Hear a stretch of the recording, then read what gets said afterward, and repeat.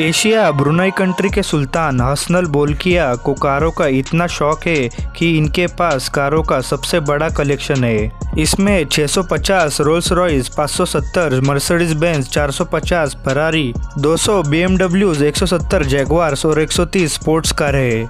इनके पूरे car collection की कीमत करीब 300 अरब से भी ज़्यादा है। गाइस इसी तरह के इंटरेस्टिंग वीडियोज़ एंड फैक्ट्स के लिए चैनल को लाइक शेयर सब्सक्राइब ज़रूर करना। मिलते हैं अगले वीडियो में। तब तक के लिए बाय बाय